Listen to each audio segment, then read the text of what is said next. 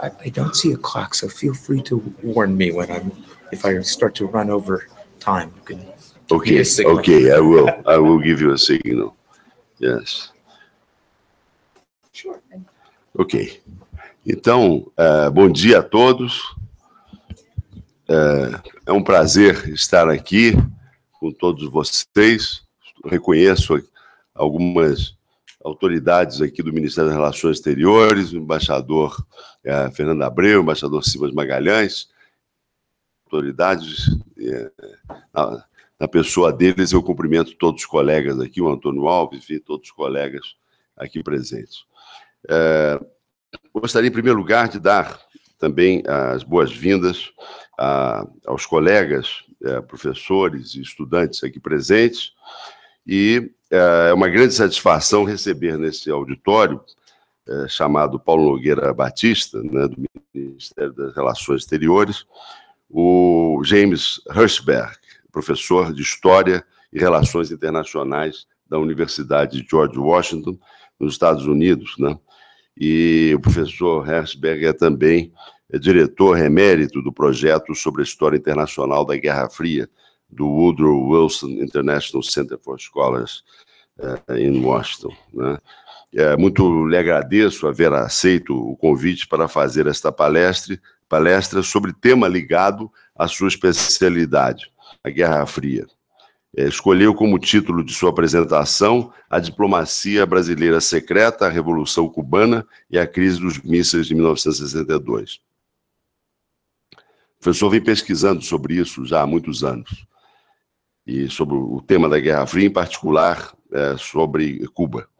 Né, É com prazer é que divido a mesa com meu colega, o ministro Paulo Roberto Almeida, que acaba de assumir o Instituto de Pesquisas de Relações Internacionais, o IPRE, órgão singular da Fundação Alexandre Guzmão, eh, juntamente com o Centro de História e Documentação Diplomática, o CHDD, no Rio de Janeiro. Aproveito para dar de público as boas-vindas ao Paulo Roberto, né, que, além de diplomata, é respeitado professor com larga experiência acadêmica e antigo parceiro da Fundação Alexandre Guzmão. O professor Herzberg falará durante cerca de 40 minutos. Em seguida, teremos mais 20 minutos para perguntas. Eu peço aos, aos interessados que formulem suas perguntas por escrito eh, e apresentem aqui a- a- ao IPRI. Terá uma moça aqui que vai recolher, a Valéria, vai recolher as perguntas e depois nós formularemos. Essa apresentação eh, é será em inglês, não é? Então, daqui para frente, nós falaremos em inglês. Então, eh, professor eh, Herzberg, the floor is yours, please.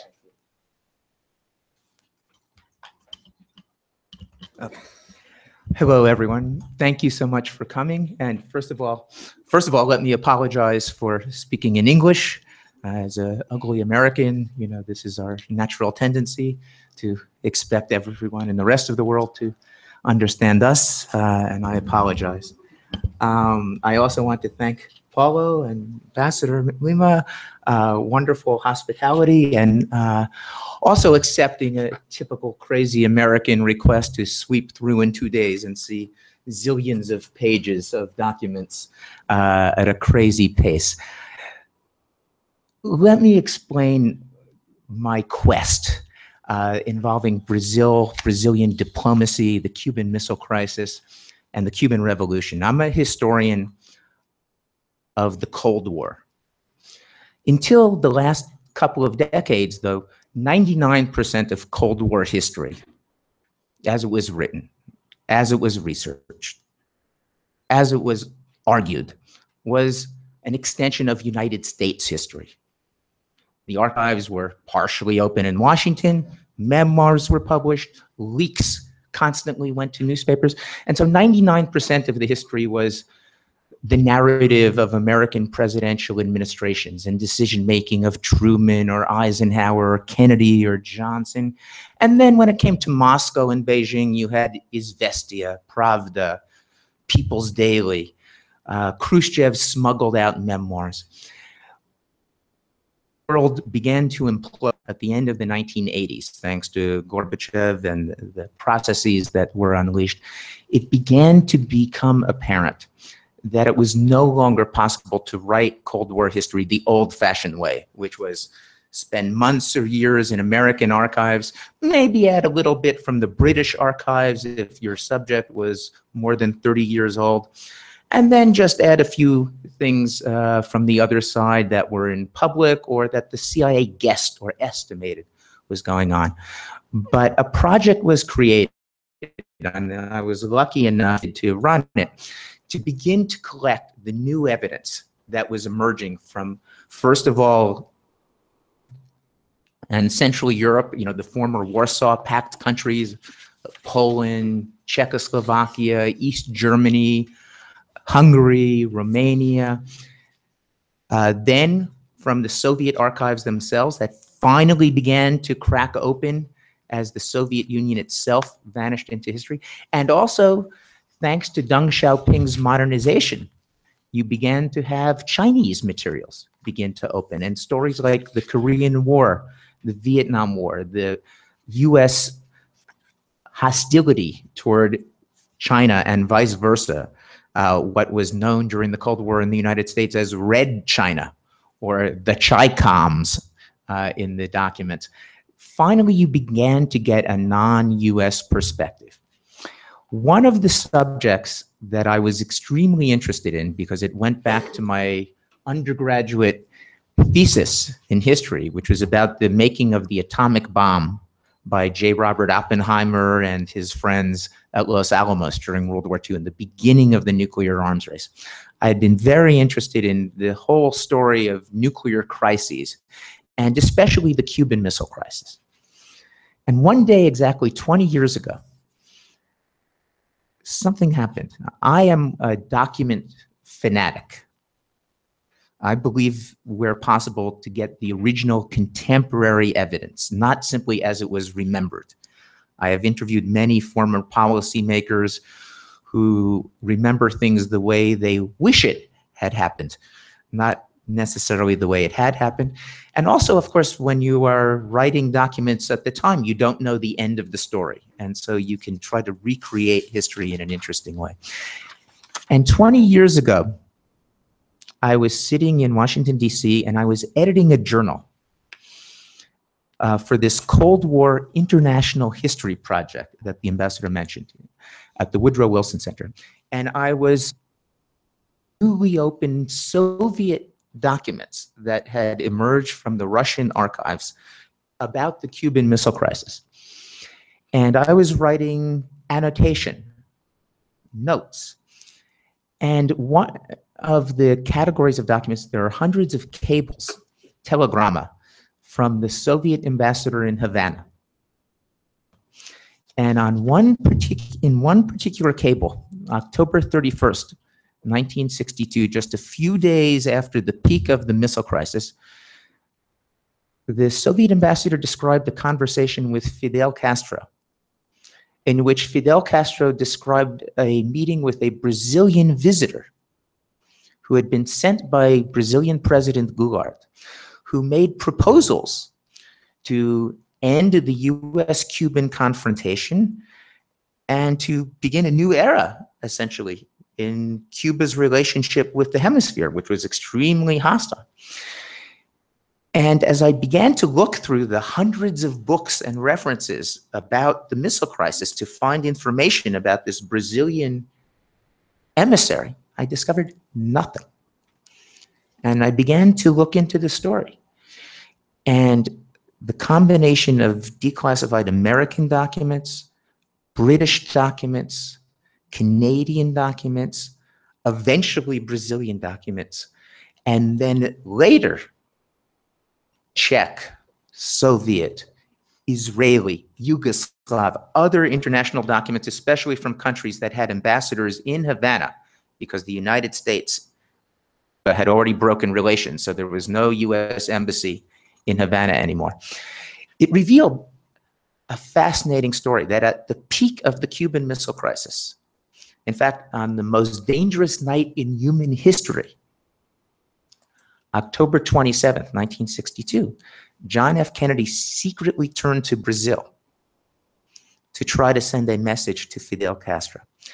But the more I explored the story, the more I discovered that not only was this episode completely missing from the history of the Cuban Missile Crisis, in fact, when I told friends, even colleagues who had written books on the Cuban Missile Crisis, that I was working on the Brazilian dimension of Cuban Missile Crisis, I owe the exact same answer, which was, what Brazilian dimension of the Cuban Missile Crisis? Nobody knew there was a Brazilian dimension of the Cuban Missile Crisis. But when I explored it, I discovered this was simply the climax of three years of secret Brazilian diplomatic efforts to mediate between Fidel Castro's revolution in Havana and the United States government in Washington. This was a process that began under Kubitschek in Brazil, even before he moved to Brasilia, and Eisenhower in Washington. It continued through Quadros, mysterious but fascinating eight month period of January to August 1961 with uh, John F. Kennedy, the new president. Uh, period that included uh, the Bay of Pigs, most famously, and then, of course, the infamous or notorious to some people decoration of Che Guevara uh, just before Quadros himself resigned. And then it also included a couple of mediation efforts under Goulart himself. But the whole story climaxed at the peak of the Cuban Missile Crisis. Now, what I propose to do in my remaining time is to briefly give an old story, which I understand is still mostly unfamiliar to Brazilian history. And then I'll be happy to answer any questions and to examine any particular aspect in greater depth. Now, this is a project of mine that will eventually, God willing, produce a book uh, that you will be able to read. It It has already produced multiple journal articles and conference papers, but I will give you a very superficial overview of the story. Now, actually, my investigation has led me to the story of Brazil's reaction to the Cuban Revolution. And that in turn has led me to a fascinating person of Itamaraty history, Vasco Tristan Leitão da Cunha. Now, what is so fascinating, uh, I discovered, is that he is mostly remembered, I understand, at least by many people, as the first foreign minister of Brazil under the military uh, that took over, the, the new government that took over in 1964 after. And he presided over the break in Brazil's relations with Cuba in May 1964 because of Cuban support for communist subversion in the hemisphere. And uh, Leitão da Cunha was foreign minister for two years, and then he became in Washington, D.C., to Lyndon Johnson. And he was very supportive of the U.S. policy in Vietnam. Uh, he had already supported the uh, U.S. intervention in the Dominican Republic, so he is remembered as a strong anti communist. But what turned out to be fascinating is that he arrived to become Brazil's ambassador in Havana at the end of November 1956, actually with his family on a boat from Rotterdam. He had been the Brazilian ambassador in Brussels. He arrived in Cuba on the same day that Fidel Castro, Raul Castro, Ernesto Guevara, and about 80 compañeros took a rickety boat, the Granma, from Mexico to Cuba to launch what turned into the Cuban Revolution. And for the last two years of Fulgencio Batista, uh, Ambassador Leitão da Cunha had a front row seat to the Cuban Revolution. Not only that, he and his wife, Virginia, and their daughter, uh, Isabel, uh, became extremely sympathetic to the revolution against Batista. Not only that, the Brazilian embassy in Havana became known as the place to gain asylum if you were trying to escape the secret police of Batista and support the revolution. And dozens uh, of pro Castro revolutionaries ended up finding asylum, refuge in the Brazilian embassy in Havana, including Fidel Castro's sister, Juanita. And uh, it's funny, uh, Ambassador de Cunha had a British education and was known as being somewhat reserved, but his wife, Virginia, was known as having a more passionate French temperament. And actually, she used to drive uh, American diplomats crazy because after the revolution took power, she would strongly applaud Fidel Castro's speeches criticizing the United States. And the Americans really began to resent this. But when Fidel Castro to take power, the very first foreign diplomat he came to see was the Brazilian ambassador, Sierra Maestra from the mountains. He had written letters to the ambassador's wife, thanking her for the good care she was taking of the various uh, revolutionaries in the embassy. And uh, I've even been told that not only was Fidel Castro's best foreign friend when he first took power, the Brazilian ambassador, but that during this period, Ambassador de Cunha was even a father figure to Fidel Castro. He was 23 years older. Fidel Castro was alienated, estranged from his own biological father. And there was a honeymoon of very warm relations. In fact, a, a dinner was, a party was thrown. Um, uh, Castro would come late at night for, for meetings with the ambassador. The, the family knew uh, the, the Barbudos, the bearded ones, very well. And I've also found that in, uh, this affection between the Brazilian ambassador's family and Fidel Castro and the revolutionary leadership was became so well known that it began to annoy American officials. Uh, the American ambassador Bonsal even wrote a letter that was classified until recently, complaining that the, the Brazilian ambassador and his wife especially were too sympathetic. Uh, the French ambassador, whose um, son would actually date the uh, daughter of the Brazilian ambassador, um, would, after she had an affair with one of the Barbudos, that's a whole nother story. Um, uh, wrote a long 10 page analysis that I found in the archives in, in Paris, uh, concluding that uh, the Brazilian ambassador was too willing to accept the explanations and excuses of Fidel Castro that he was not really a communist, that he was just bargaining for position. But what was fascinating is that by the summer of 1916, I traced this process in my um, the Leitão de Cunha family, not just the ambassador, but his wife and daughter, turned from being enthusiastic supporters and sympathizers of the revolution to being first disillusioned, then disturbed, and then extremely alarmed by the communist direction of the revolution, its increasing ties to the Soviet Union and the Soviet bloc and the communist world, and its repression domestically against the free press, against the church, against dissidents, real or imagined. Um, even some who had been part of the revolution were beginning to flee Castro. And at one point, even Fidel Castro, the same Fidel Castro's sister, Juanita, who had taken asylum in the Brazilian embassy from Batista, began to come back to the Brazilian embassy to get asylum from her own brother. And she was great friends with the Brazilian ambassador's wife. And at one point, the Brazilian ambassador's wife and Fidel Castro's sister became so uh, congruent, unified in their alarm at the direction of the revolution that it was revealed by Fidel Castro's sister uh, six years ago, seven years ago in her memoirs, that it was the Brazilian ambassador's wife who put her in touch with the CIA agent, uh, first in Cuba and then in Mexico City, in order to become a CIA informant against her own brother.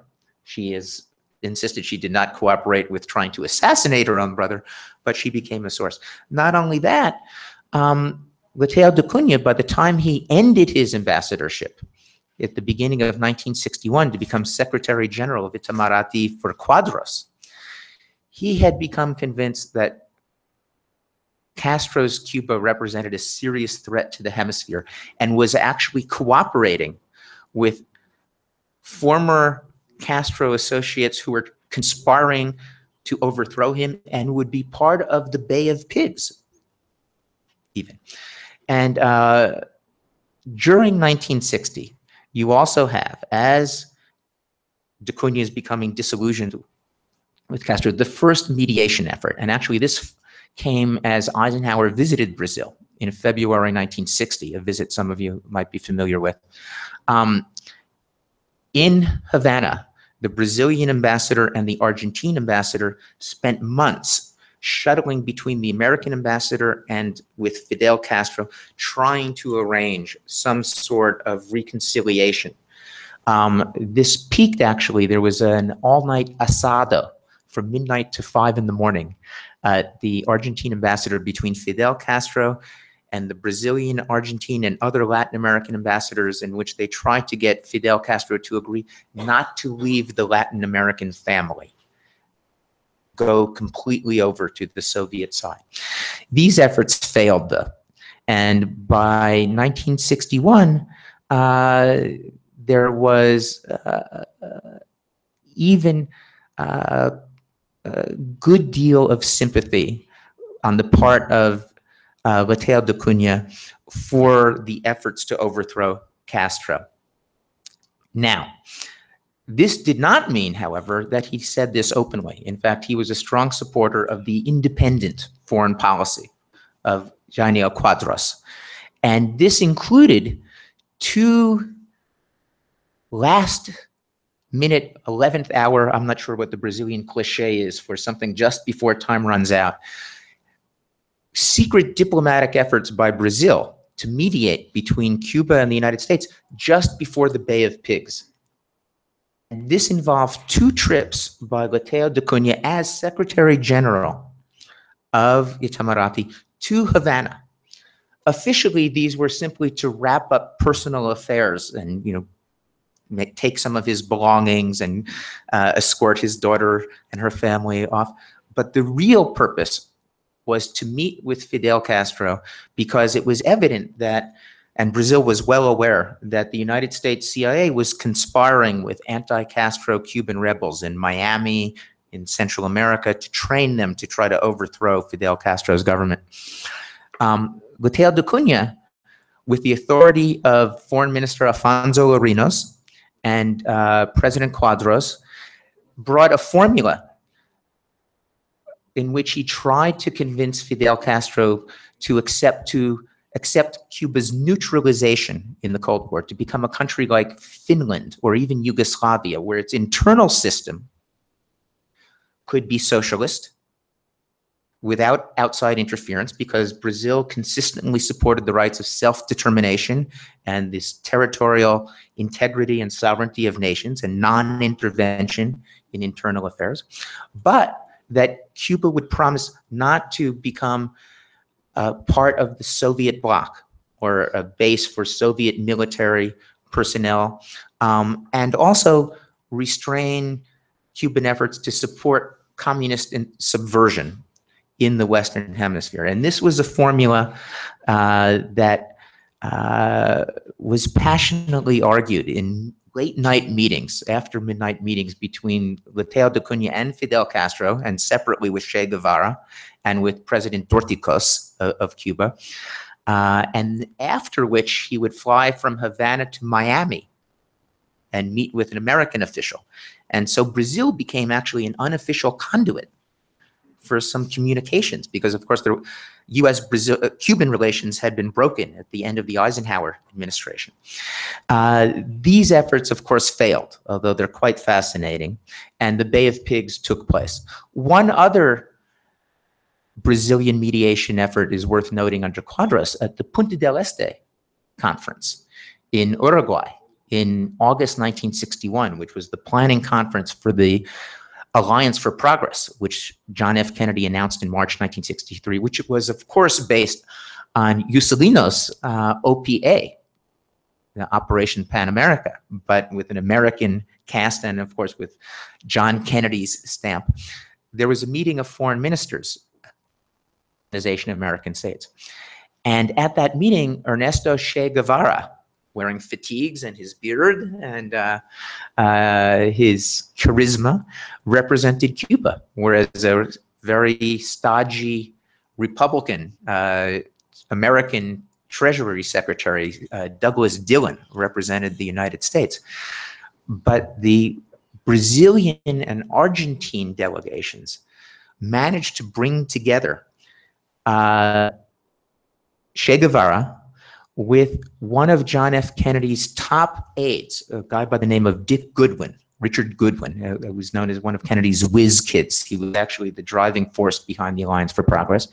And they had a long conversation on the floor of an apartment at a party after midnight.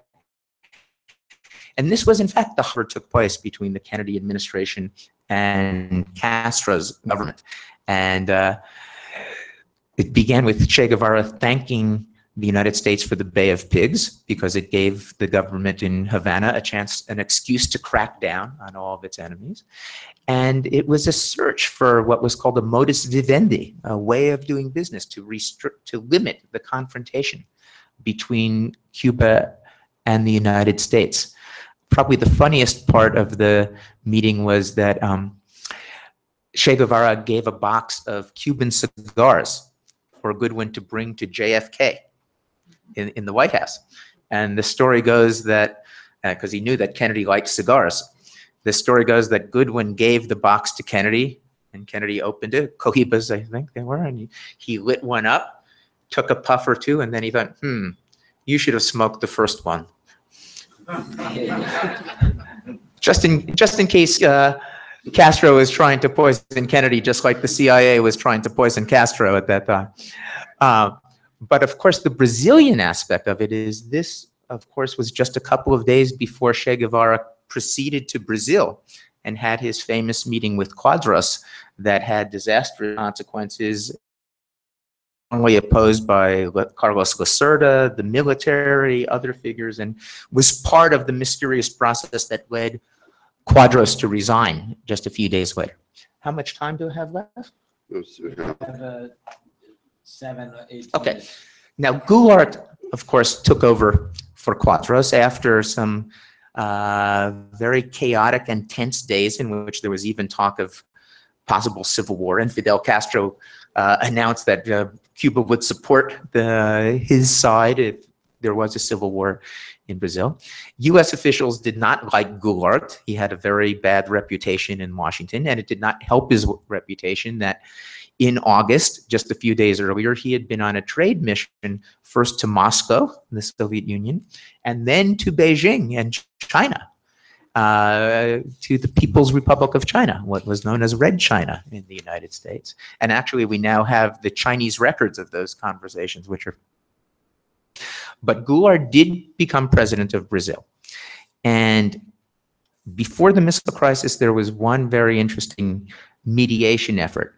Uh, in August, I'm sorry, in April 1962, Goulart visited the United States. This was a very high visibility visit. He gave a speech to a joint session of Congress.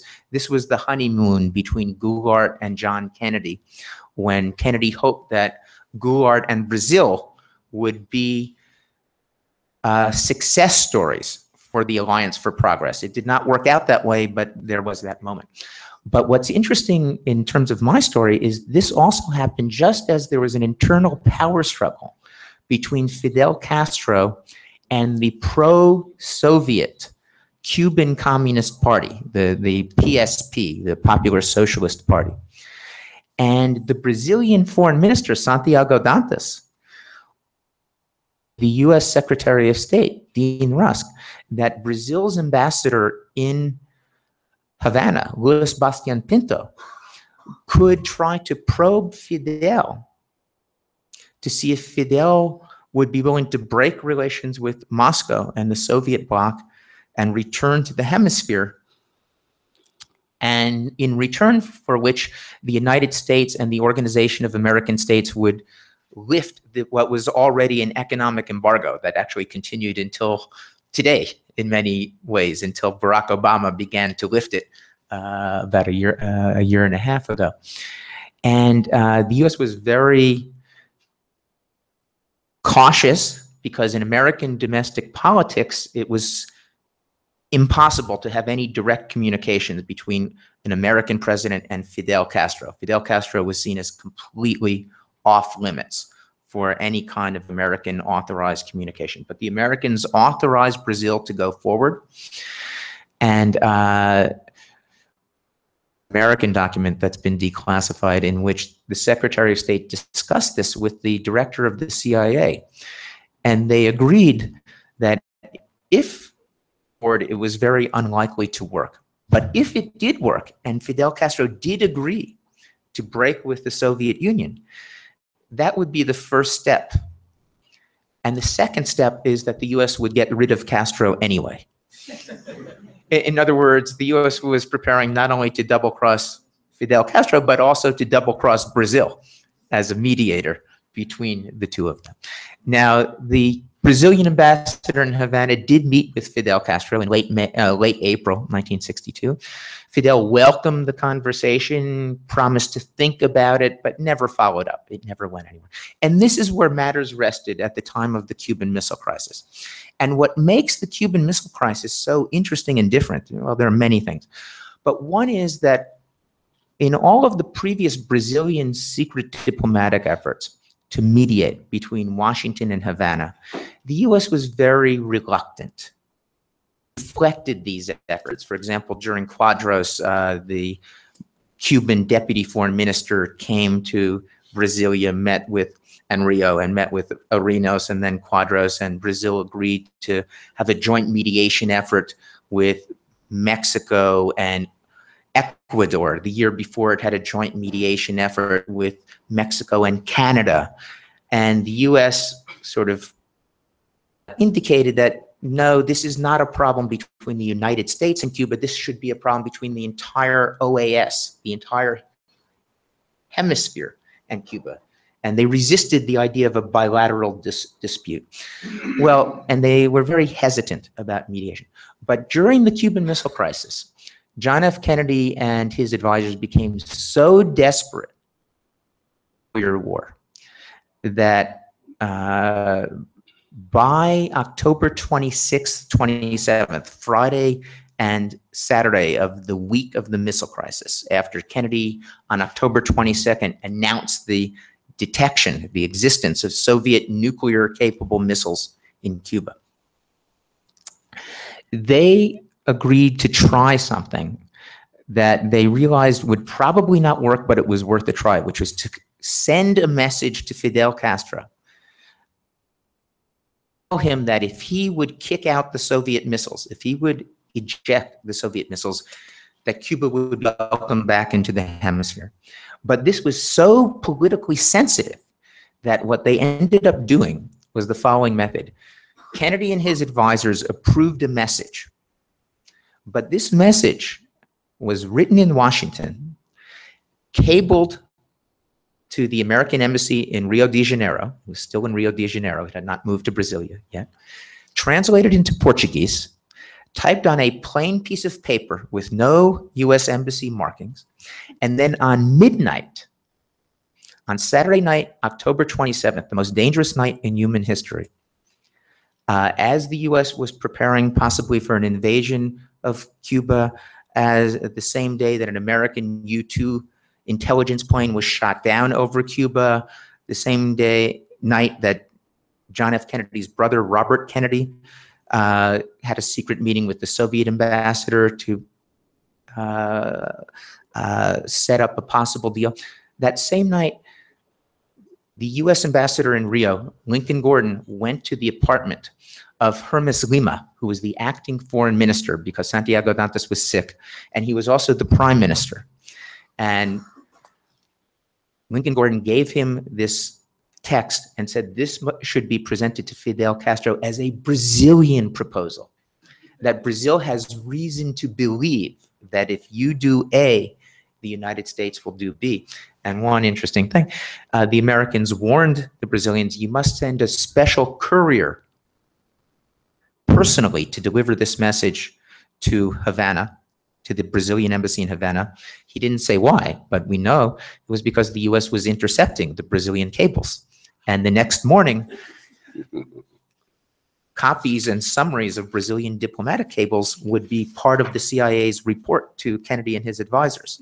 And the US did not even want secret documents to tell the US bureaucracy that it was sending a message through Brazil to Cuba. Now, the US had hoped that the message to Castro would be delivered through Bastian Pinto, who they trusted as a reliable professional diplomat and anti communist.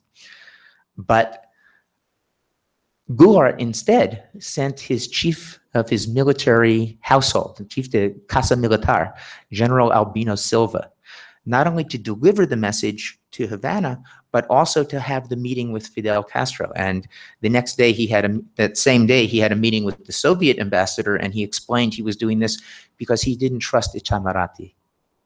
He was going to use his own man to control the process. And so, even though there is one cable in the Itamaraty archives about the meeting between Albino Silva and Fidel Castro, the three page handwritten letter and then the 14 page handwritten report from Albino Silva went directly to Goulart. And actually, this is the, the one document I would call the holy grail that I'm still trying to find about the story. And unfortunately, I don't think it ever made it into the Itamaraty archives. I just have a sinking feeling.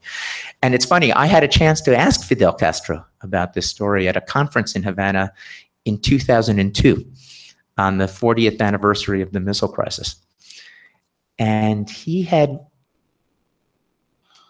virtually no memory of the meetings he had. He had a long meeting with Albino Silva. And why? Because he simply thought this is the Brazilian diplomacy trying to interfere above its level in a crisis between the superpowers. So he paid virtually no attention.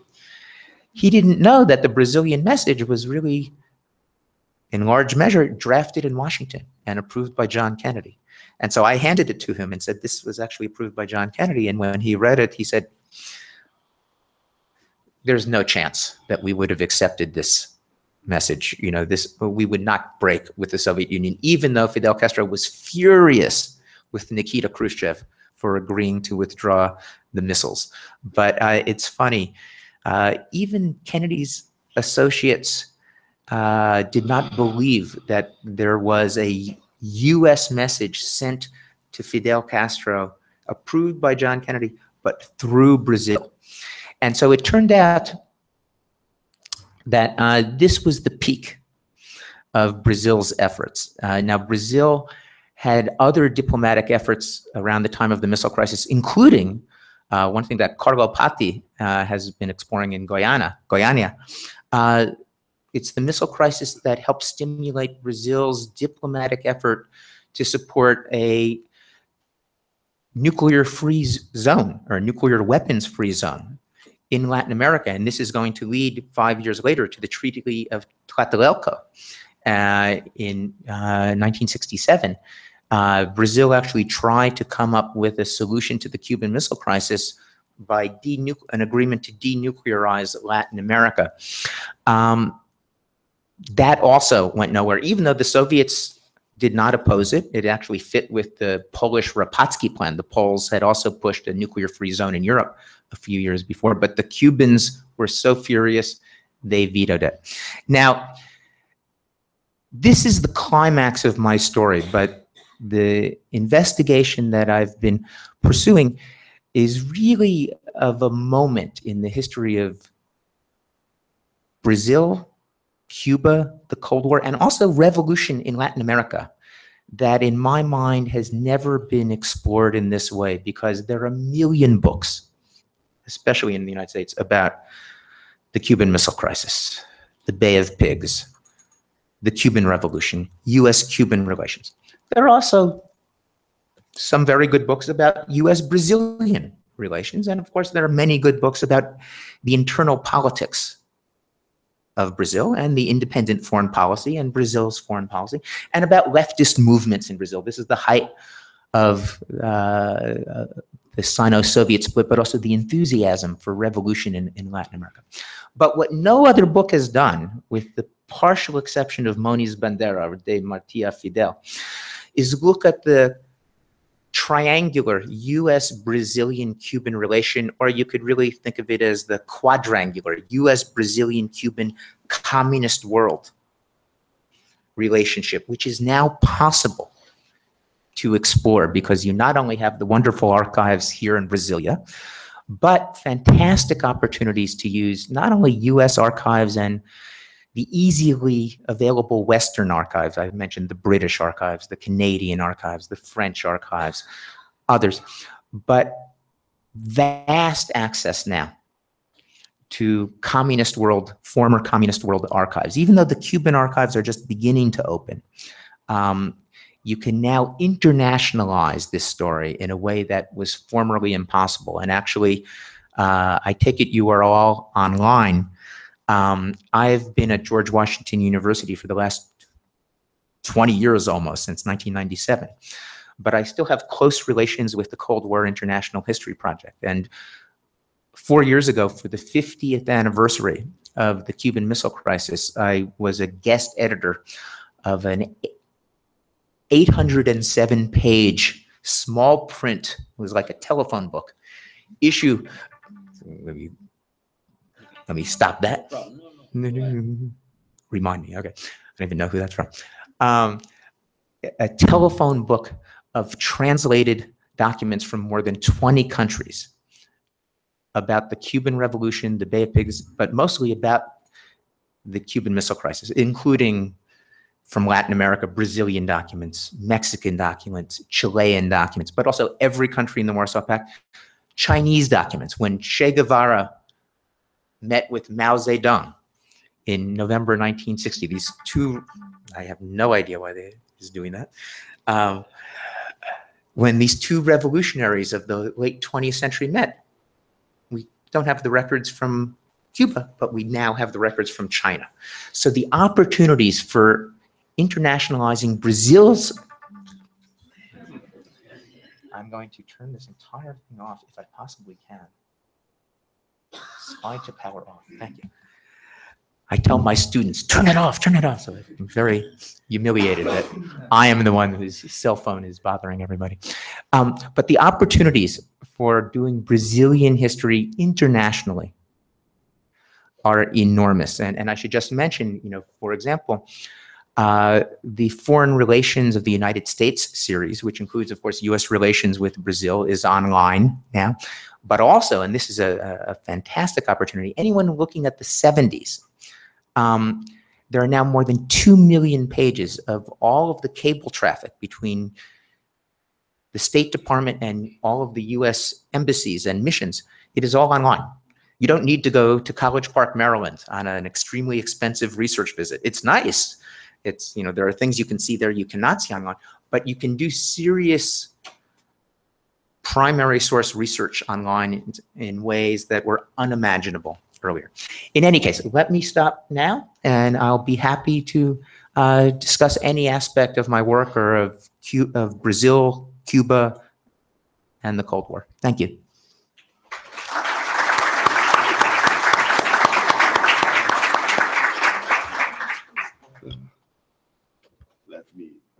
Start by thanking Professor uh, Hershberg for his very interesting uh, account of uh, uh result of a very uh, deep uh, and and encompassing research on the Brazil Brazil's role in as, as, you see it. and I, I would like first of all to to open the floor I don't know if you have a, uh, uh, some questions that you'd like to make, but I, I would start by, um, uh, again, from the point of view of FUNAG, uh, sharing with you uh, this feeling of the importance of knowledge. uh, the importance of knowledge and of acquiring knowledge, of reflecting upon um, uh, what uh, uh, you we have uh, sometimes available, and we we do not research. And um, and the importance for students to also to think about uh, their uh, role uh, in in digging in, this information and studying and analyzing, because sometimes uh, the history that is available is not necessarily the complete uh, uh, story. no? And uh, so it's uh, always important for you to research and to go into different documents, not only to have the view, and this is important for the opening that the Professor Hershberg is doing with his visit, is also uh, to uh, create the opportunity not only from seeing the things from the point of view of uh, the American archives, the U.S. Department archives, but also seeing uh, from the point of view of the Brazilian uh, archives and of the Brazilian uh, uh, reading of uh, of the situation. huh?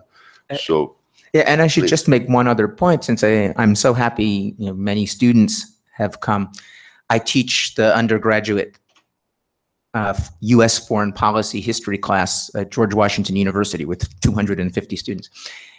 And one thing I do, I have them choose an event during the Cold War, the missile crisis, the U.S. escalation in Vietnam, uh, summit meeting between Nixon and Mao or Nixon and but compare how the event was covered in the newspapers at the time, the New York Times, the Washington Post, to the secret documents to see how foreign policy looks different in the classified secret world compared to the public impression that is given uh, whether through public statements, press conferences, leaks to journalists, because you know some of you might be interested in history, some of you may not. And if, but if you're interested in present and future policy, when the secret documents might not be available 20 years, 30 years, forever, I think it can help your insight into what may be going on behind the scenes to have some experience of looking at the archives and comparing how did an event look to the public, you know, Globo and wherever, compared to how does it look in the secret, the confidential, the urgentissimo, the documents that the public does not have access to. And, and that is a very interesting part of sort of re, redrafting. You know, journalism is sometimes called the first draft of history. And so it's a fascinating experience to take that first draft and to move it forward to a second draft. But um, uh, another point is also uh, to uh, to research and to think of the Operação Pan-Americana né, as um, uh, as an important moment of Brazilian diplomacy, uh, a moment in which uh, Juscelino Kubitschek um, perceives that uh, there, there was a danger and he tries to to convey the message to to Eisenhower, né? and then to to Kennedy. Uh, and uh, this message uh, was uh, very useful, but it was not fully taken by the Americans. The Americans did not fully understood. uh, but this is an important moment for Brazilian diplomacy that is not studied as it should. And uh, perhaps the, the coming of Professor Hershberg here uh, is an invitation to all of us to go deep and study the, the importance of Brazilian diplomacy in the Cold War, and in particularly uh, the efforts by Juscelino Kubitschek to, to show that the problem was not East-West. For Latin America, the problem of uh, South the problem of the, the problems of the South were, were really uh, much more uh, important, and there was some danger in that.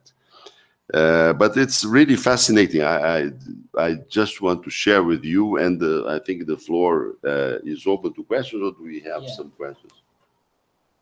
Thank you, Ambassador. Thank you, Professor James Hershberg. I was pleased by your uh, uh, explanation. This morning, uh, we were together yesterday evening uh, discussing many of those issues.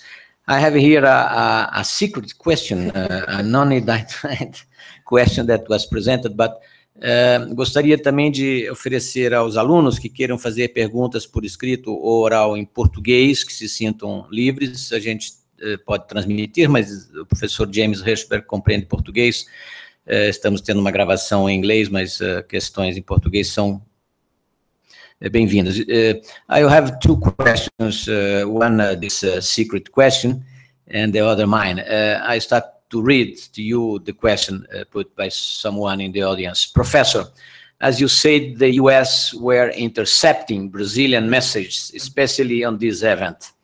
Being so, what was the participation of American figures in Brazil, such as Ambassador Lincoln Gordon and Colonel Vernon Walters? Uh, I suppose that Vernon Walters was late in Brazil. Well, two lot of concerns about President Jango Mhm. and of Brazilian figures such as uh, Tenant Golbery de Couto Silva, who was interesting observations about Cuba. Okay, uh, my question uh, goes uh, back before the, the crisis, of course, the Soviet uh, nuclear weapons uh, in Cuba do you consider the man uh, responsible, the, the two people engaged in this affair, which uh, was more responsible for the installation of Soviet devices in Cuba, was Nikita Khrushchev desire to retaliate against NATO or uh, US uh, spying in Turkey or um, other other place? or Fidel Castro desire to mount, let's say, a leverage against the US, just as Mao has done uh, during the Korean War. Uh, how do you perceive the decision to put missiles uh, uh, in Cuba? Thank you. Yeah, uh, this, I'll answer the second one first because it chronologically happens before the crisis. This is a mystery that has existed since the crisis because there have been conflicting stories. Nikita Khrushchev has always put out the words that the Soviet Union did it for the sake of Cuba, to defend Cuba as a altruistic, generous act of defending a socialist ally. Whereas uh, Fidel Castro has said, no, um, we did not ask for these. We agreed to accept these missiles for the good of socialism. And some materials on this are still missing, but what has come out, both from opening Russian documents and also this conference in Havana in 2002, was very revealing about this. There was also a conference on the 30th anniversary of the missile crisis in Havana in 1992, 10 years earlier. Is it's clear that the impulse to send the missiles came from Khrushchev in the spring of 1962, and he had many motives. Uh, for one thing, the Soviet Including Berlin? um, Berlin was one motive. In fact, one mystery is whether, as uh, some officials believed at the time and some historians believe, uh, just as background for, for you, the biggest crisis of the Cold War from 1958 to 1961 was over Berlin, in which the that is now the capital of a united Germany, of course, was divided. East Berlin was communist and was the de facto capital of East Germany.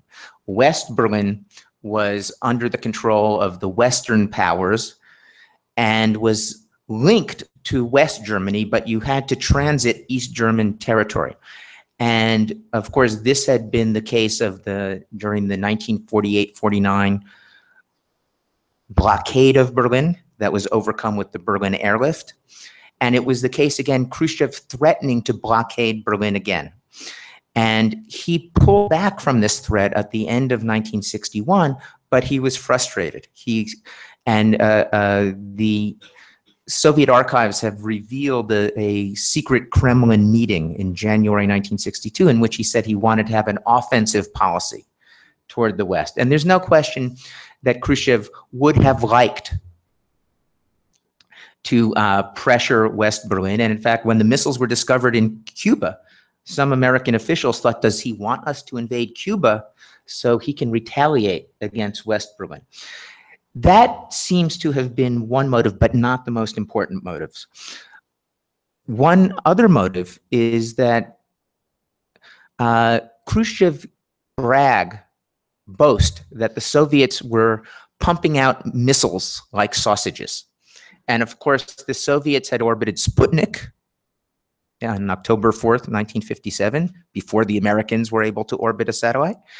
And on April 12th, 1961, just before the Bay of Pigs, the Soviets had orbited, had, had orbited Yuri Gagarin. The first man in space was a cosmonaut and a communist member, uh, member of the Soviet Communist Party. He later visited uh, Brazil. And so Khrushchev wanted to create the impression that the Soviets were ahead in missiles. And in the United States, there was debate over what was called a missile gap in American domestic politics, that the Soviets were getting ahead. But in 1961, the US was able to get better intelligence. And in late 1961, the US revealed that there was a missile gap, but it favored the United States. The US actually had far more missiles that could hit the Soviet Union and more accurately than the Soviets had that could hit the United States. Also, there had been a gigantic accident that had, uh, in which one of the Soviet missiles exploded on the launch pad, killed about 200 people, including leaders of the Soviet missile program. So the Soviet missile program was in deep trouble.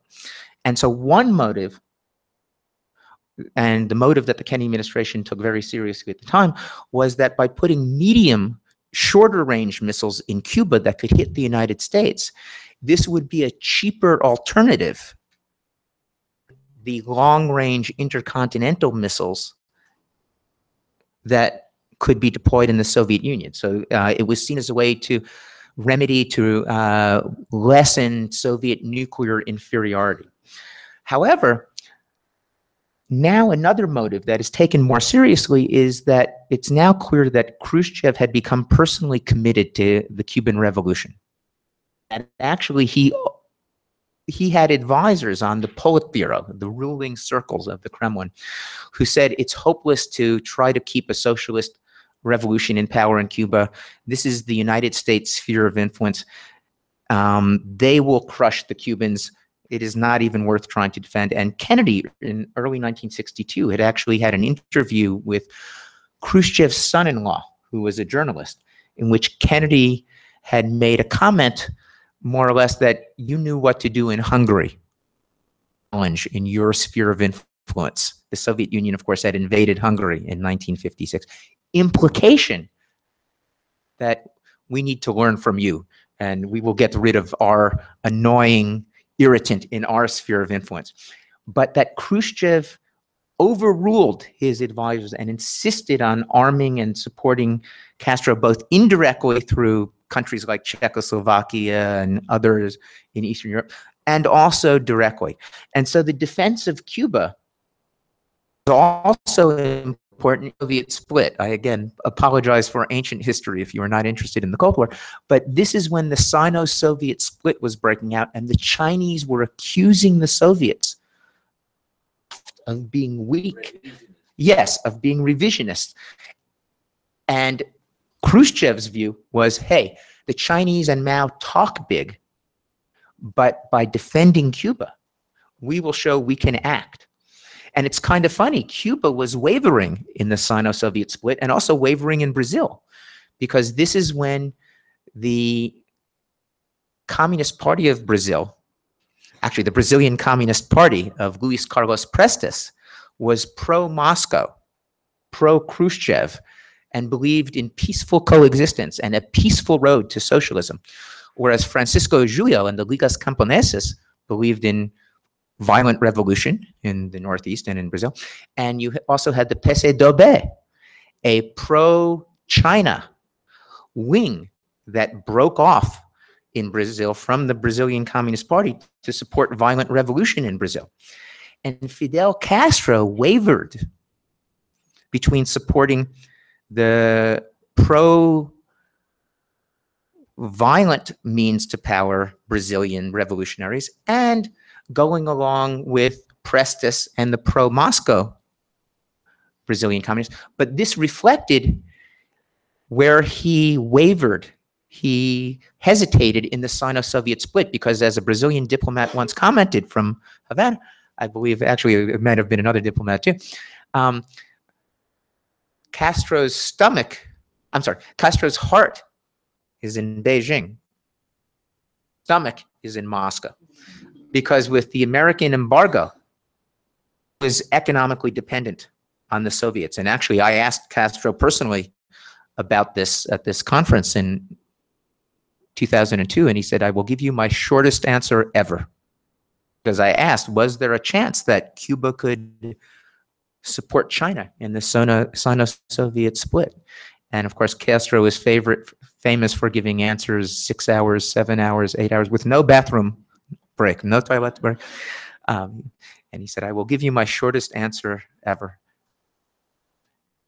For one word, three letters, O I L, oil. They were completely dependent on Soviet oil and, and refine, Soviet refining of oil. And so there was Cuban sympathy for armed struggle and revolution, including in Brazil. Um, but he was persuaded that he had to go along with Khrushchev's method. And eventually he was convinced that by Prestes, Prestes visited uh, Cuba and told Castro that if you support revolution in Brazil, the result will not be revolution, it will be the military taking over, which is, of course, what happened a year later.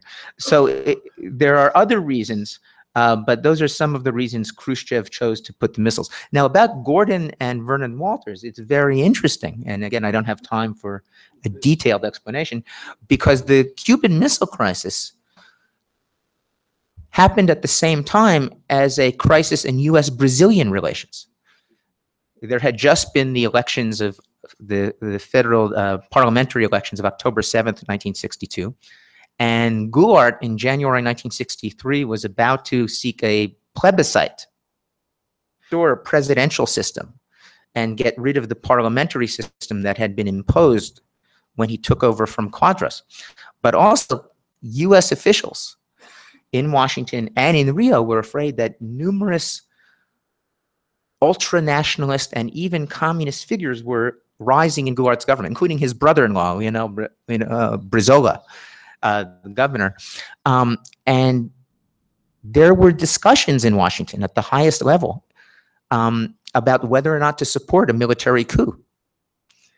And in fact, uh, the ExComm, uh, it's fascinating. In December 1962, just after the missile crisis, there was a discussion of Kennedy and his advisors about options in Brazil to support a military coup uh, the other was to pressure Goulart to make changes through a confrontation.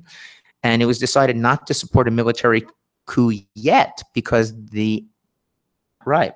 But instead, JFK sent his brother, Bobby Kennedy, Robert F. Kennedy, the Attorney General, to Brasilia, and he had a confrontation with Goulart on December 17th, 1962. The records are available from the uh, United States Archives. They've been available for many years triggering Goulart to essentially clean communists out of his house. Goulart always made excuses saying, I am working with them, they will not push me too far.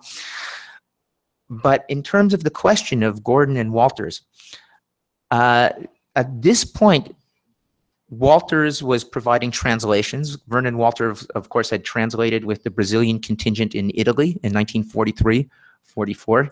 He had come as the military attache to the U.S. Embassy. In fact, he translated Kennedy's speech uh, before Lincoln Gordon uh, handed it to Goulart uh, at the, I think, Laranjeiras Palace uh, on the, uh, the, night the missile crisis became public. Um, and they were clearly exploring what readiness there was in the military uh, and other anti-communist circles for some kind of action, but they had not yet given up hope that Gordon, uh, that Goulart, possibly with the help of Santiago Dantas, who would be uh, finance minister in early 1960s, could be put on the track of Brazil remaining democratic and pro-American, pro-Western enough that the U.S. did not have to support a military coup. By early 1964, the situation had changed, and of course, there's still a dispute about exactly how much the U.S. knew and was involved in the coup. Uh, it's clear they supported the coup, but it, it, it's so far as I know, it, it's never been clarified whether the coup would have happened anyway. Okay, thank you. Uh, there will be perhaps a complement to this uh, question posed by the same question, but uh, I have two other questions Sure. with me. Secret, the other identified. Professor Hershberg, thank you for your lecture. I would like to know to uh, do the historical documents confirm the allegations that Ambassador Vasco Leitão da Cunha's wife was responsible for recruiting Juanita Castro to work secretly for the CIA against her own brother. Thank you, Guilherme Kisten Marshall. Mhm. Well, of course, you have all seen the reports that came out in 2009.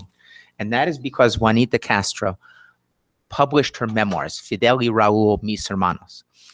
Fidel and Raúl, my brothers. And that was the first time she spoke openly about the role of Virginia Leitão de Cunha in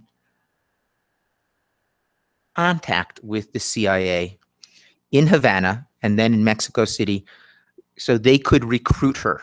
Now, the evidence that I have gathered from documents indicates uh, the word recruit implies pushing.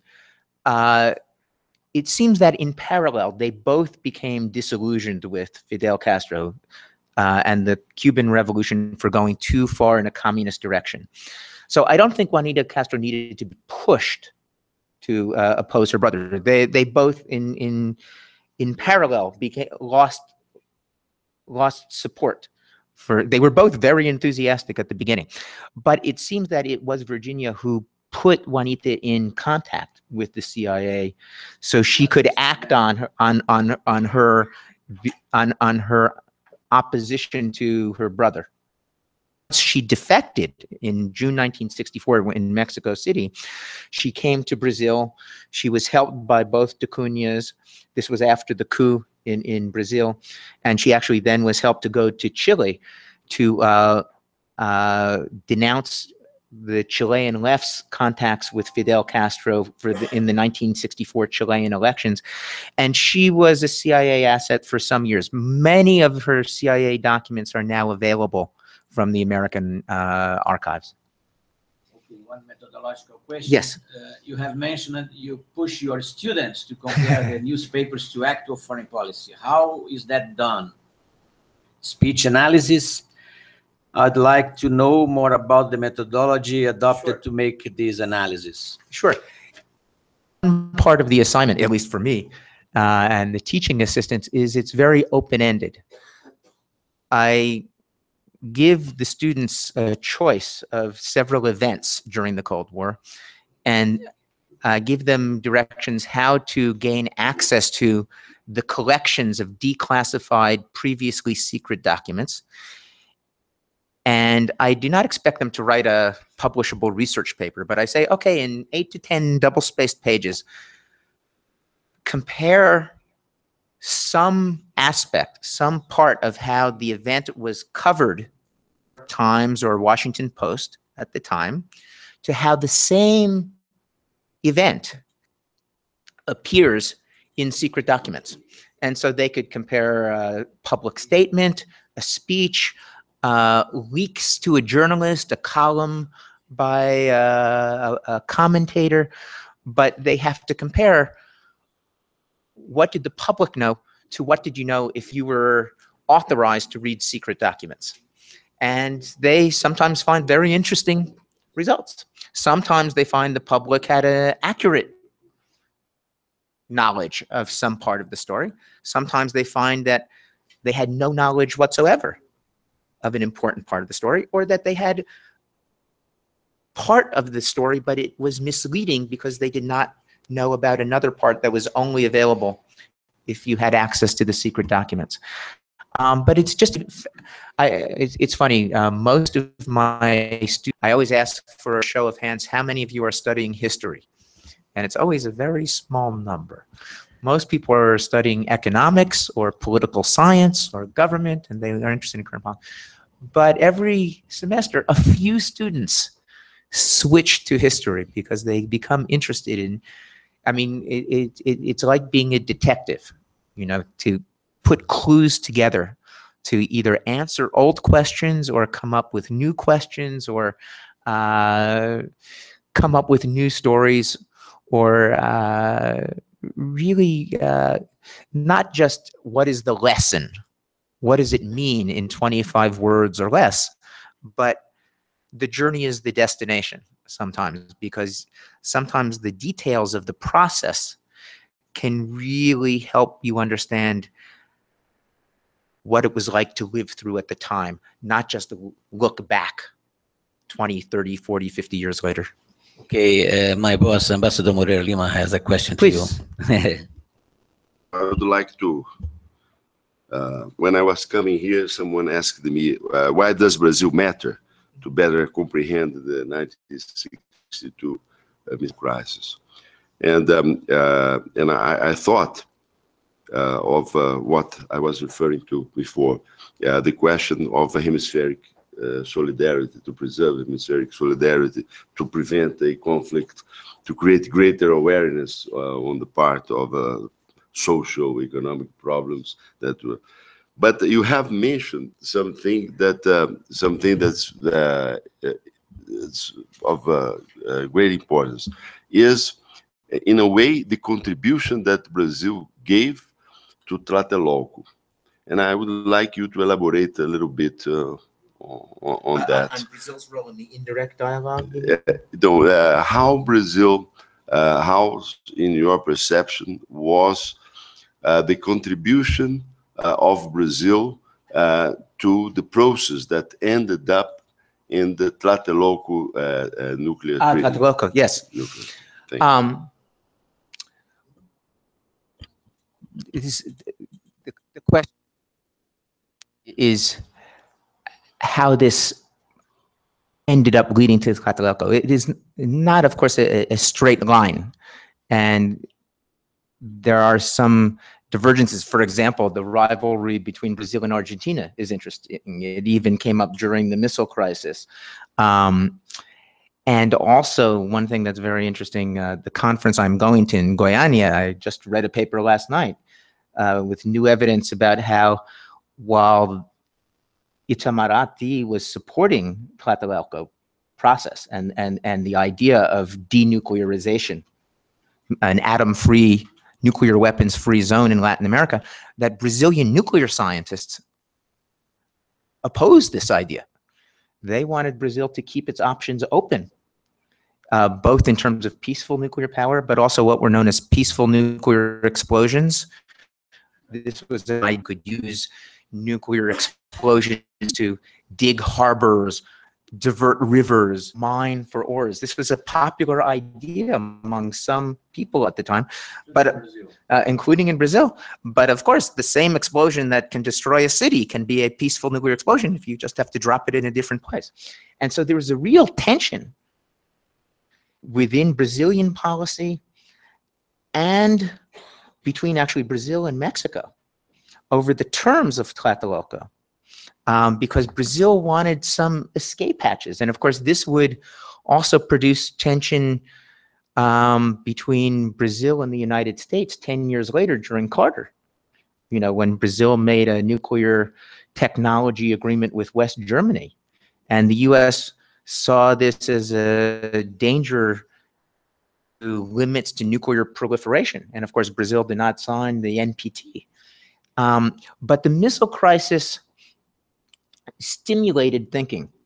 And also, for a moment, it seemed that Brazil might have the answer. And one thing that's fascinating I did not mention is uh, remember Leitão de, uh, de Cunha, who I spoke about have, that he was the Brazilian ambassador in Havana from November 1956 through the last two years of Batista, and then until February 1961. So for the first two years of Fidel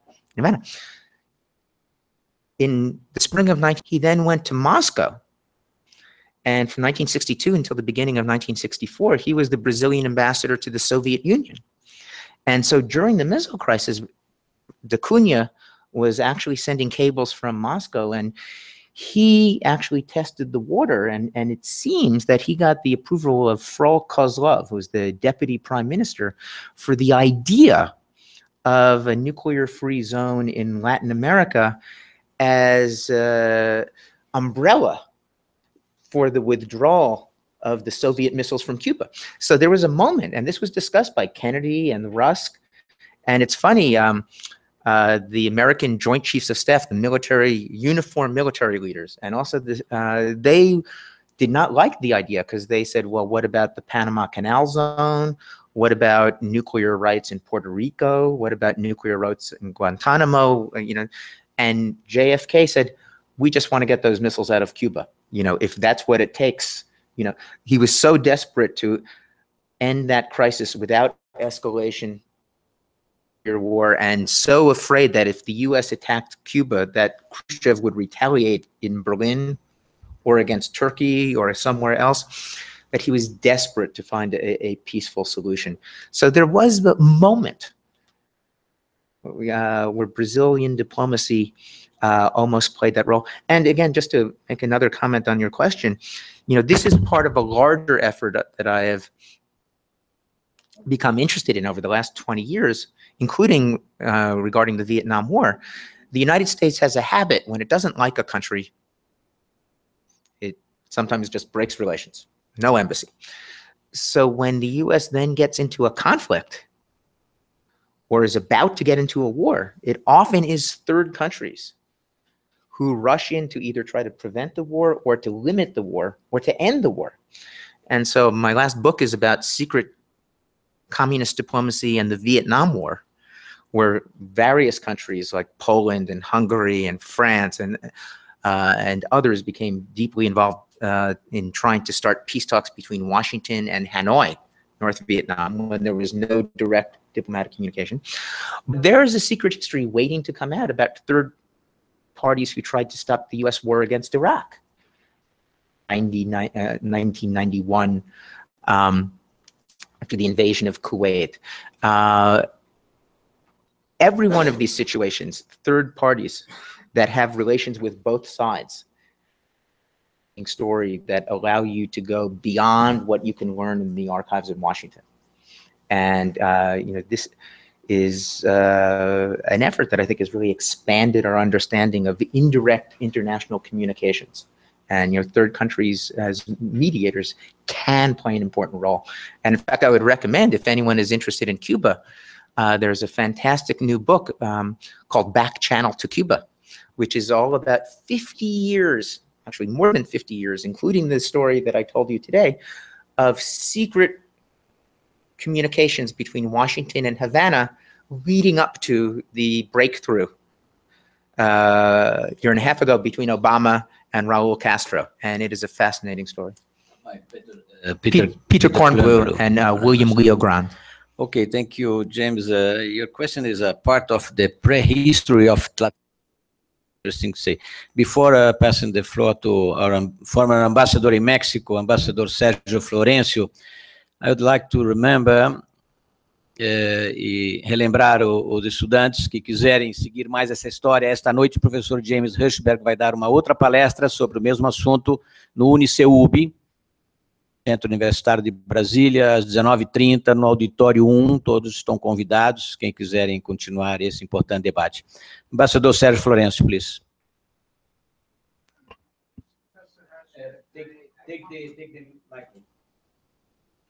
found your presentation very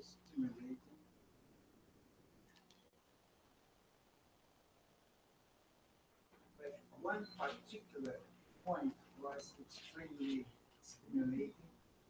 Uh, This point was your reference to the fact that the- this historical event, Thomas related to the missile crisis,